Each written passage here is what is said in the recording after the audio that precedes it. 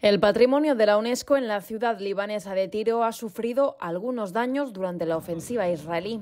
Así lo asegura su alcalde Hassan Davouk, aunque confirma que no fueron alcanzados directamente por los bombardeos. Davouk supervisó las labores de desescombro que recién comienzan en la urbe tras la entrada en vigor de un alto el fuego con Israel el pasado miércoles. Al menos medio centenar de inmuebles quedaron derruidos y no tienen suministro de agua. Fundada en 2750 a.C., Tiro fue la gran joya mercantil de los fenicios y posteriormente acogió otras civilizaciones cuya huella sigue viva en ruinas romanas o vestigios medievales de los cruzados repartidos por diferentes rincones de la localidad. El jefe de la Unión de Ayuntamientos destaca que en Chama, en el mismo distrito, parte de la ciudadela del sitio del Santo Chamón al-Safa quedó destruida, pese a ser un emplazamiento con reconocido valor histórico en el que hace poco el Ministerio de Cultura llevó a cabo un proyecto.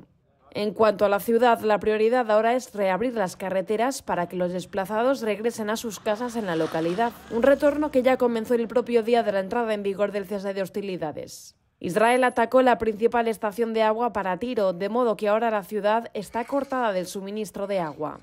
Unos siete u ocho transportistas traen agua a la urbe, pero la medida es insuficiente ya que hay miles de unidades residenciales que cubrir, expresa el alcalde.